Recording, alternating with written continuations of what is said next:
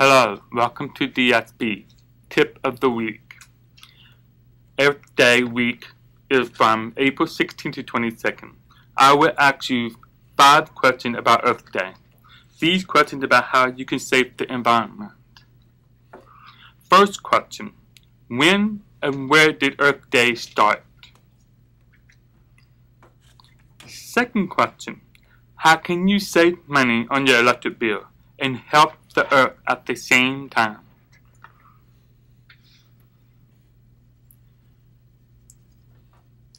Third question. Why is it important to protect the earth? Fourth question. Which item in your home can be recycled?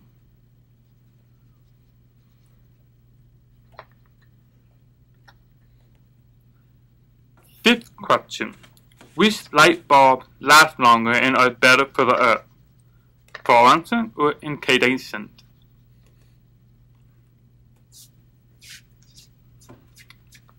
Now look it up all the answers on the next screen. Good luck.